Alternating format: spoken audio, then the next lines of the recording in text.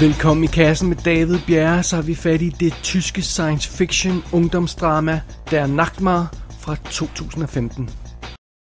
In der Küche sitzt was vom Kühlschrank. Jetzt mal ruhig.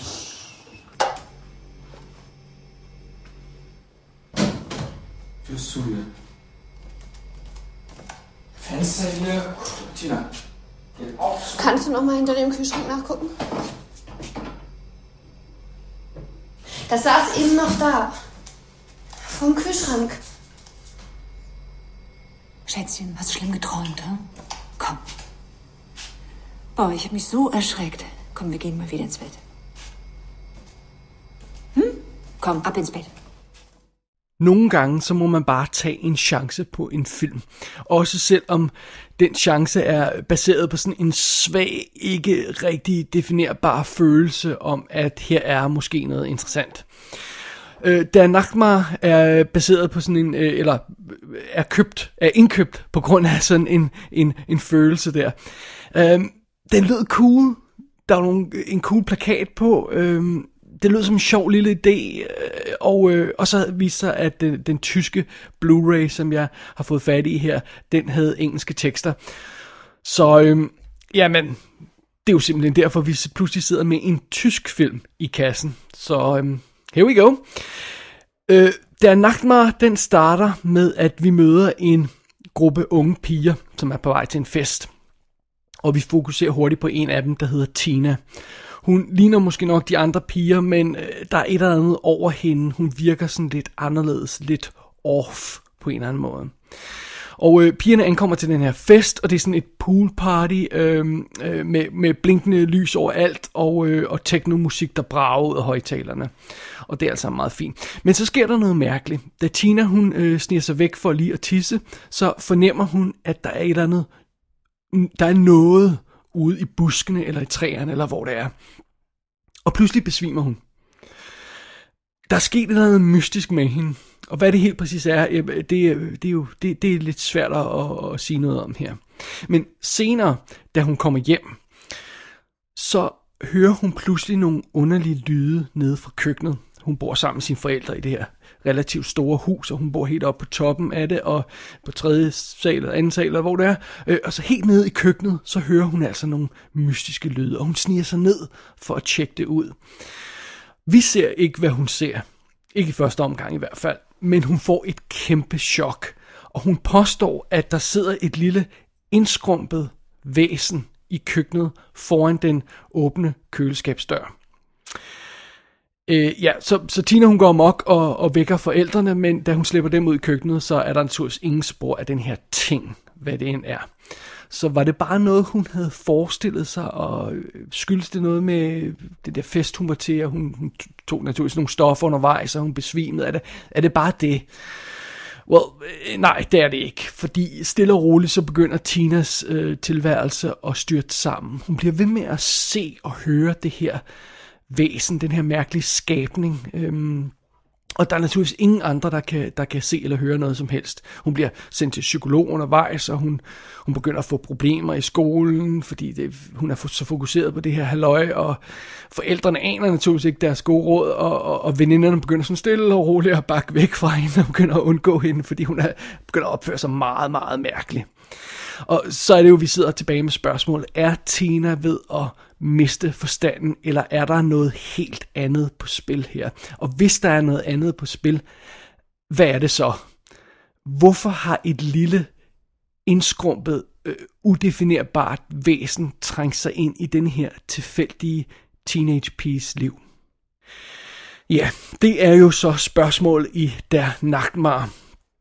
Øh, filmen er instrueret af, ja det er meget sjovt, han står krediteret som AKIZ, med store bogstaver. Akis, eller sådan noget i det stil. Men han hedder åbenbart øh, Akim Bornhark. I don't know. Whatever.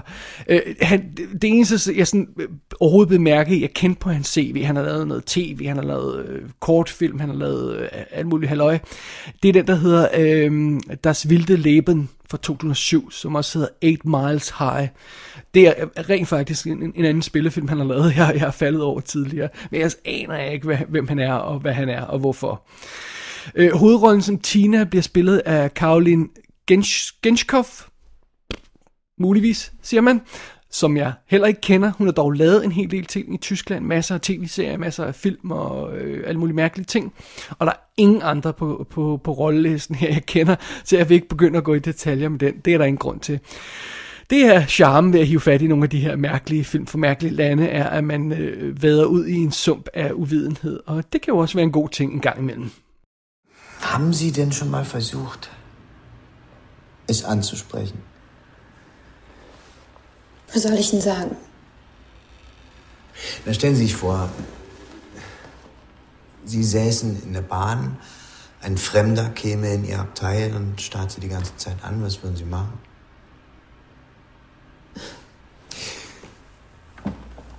Guten Tag. Was wollen Sie von mir? Was wollen Sie von mir? På overfladen så er øh, Der Nagtmar en ungdomsfilm.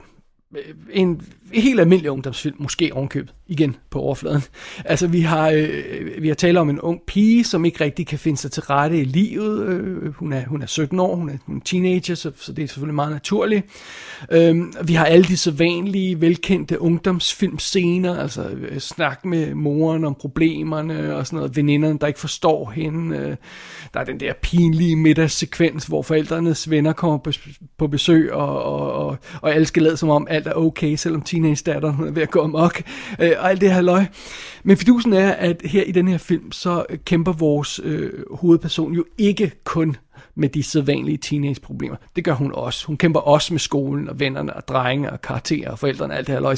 nej, hendes største problem er jo sådan set den der lille skabning, der har trængt sig ind i, i hendes liv. Og, og hvad er den der lille skabning? Altså, er, er der rent faktisk tale om et væsen fra en fremmed planet, eller sådan noget af den stil? Er der tale om sådan en, en twisted metafor for, for, for teenage-problemer?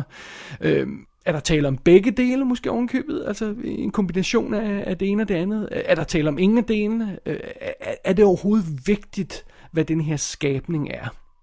Ja, det er jo så naturligvis det, vi skal finde ud af undervejs.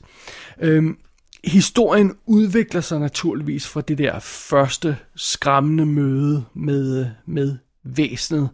Øh, øh, Tina, hun bliver ikke ved med at være skræmt af den her skabning. Øh, øh, hun begynder at komme tættere på den, om jeg så må sige. Jeg prøver ikke at sige for meget her. Øh, det går også op for os, at der er en forbindelse mellem de to på et eller andet plan. Jeg tror, filmen har skælet mere end en lille smule til E.T. undervejs.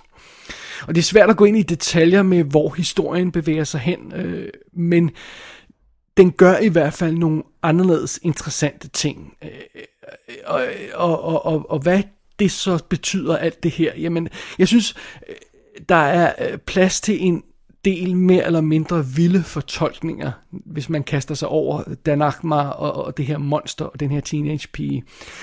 Jeg synes ikke nødvendigvis, man behøver at lægge en tung dansk lærer tolkning øh, på filmen eller på monsteret. Jeg synes egentlig, at den er lidt åben over for, hvor konkret man skal tage historien. Og det er faktisk meget øh, fascinerende. Det, det er lidt en god ting, synes jeg.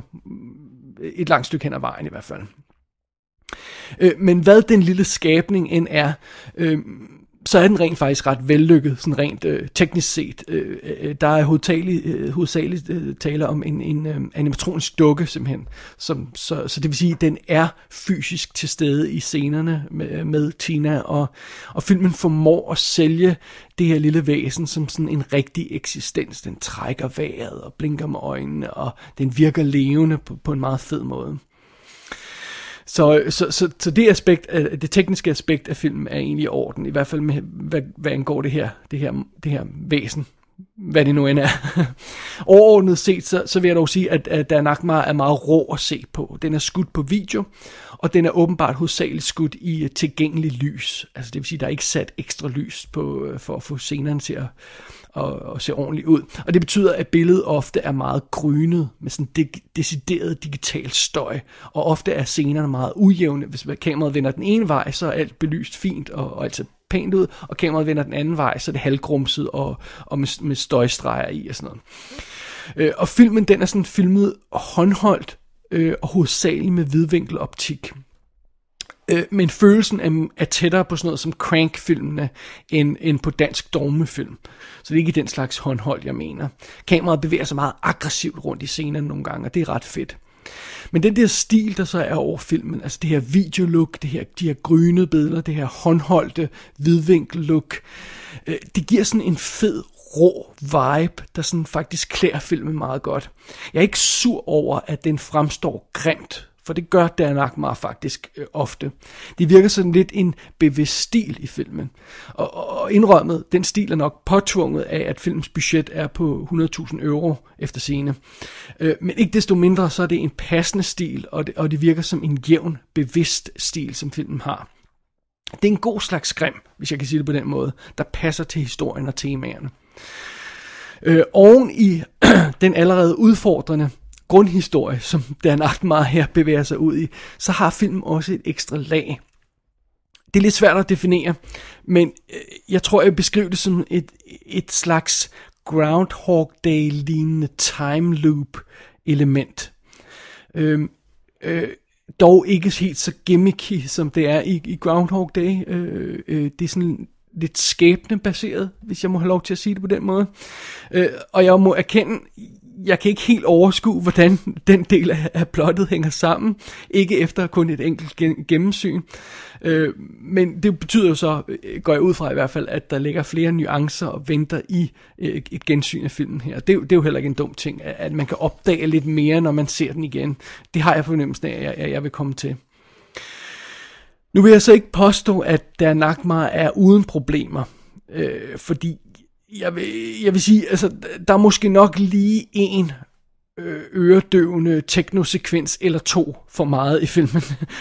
der, der er lige lovligt mange sekvenser, der udspiller sig til, til de her teknofester. Øh, og jeg er heller ikke sikker på, at alle brækkerne falder helt på plads øh, til sidst, sådan at, at det, det bliver et, et fint puslespil, der sådan giver mening. Men okay, fair nok, det er det, der sker nogle gange, når man forsøger at bryde med det vand og prøve noget, der er lidt anderledes. Og jeg er heller ikke helt sikker på, hvad filmen forsøger at sige.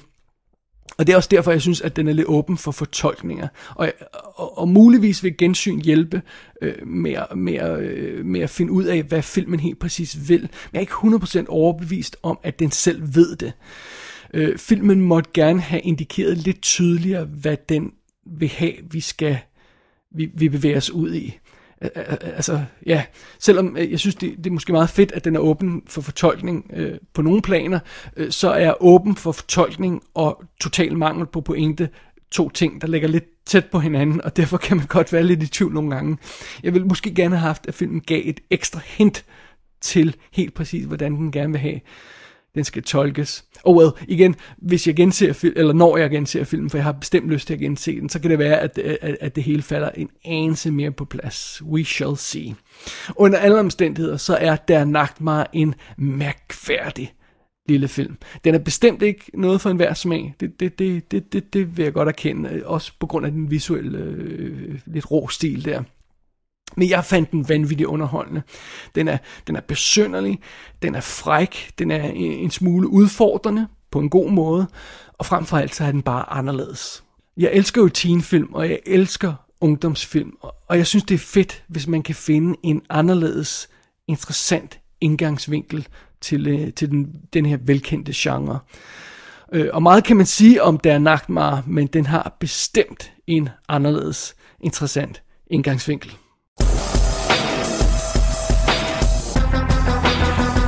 Der Nachtmar er ude på en tysk etdisk udgave. Filmen har naturligvis engelske tekster. Der er også en tredisk udgave med dokumentarskive og alt muligt andet halløj, men der er altså ikke tekster på ekstra materialet.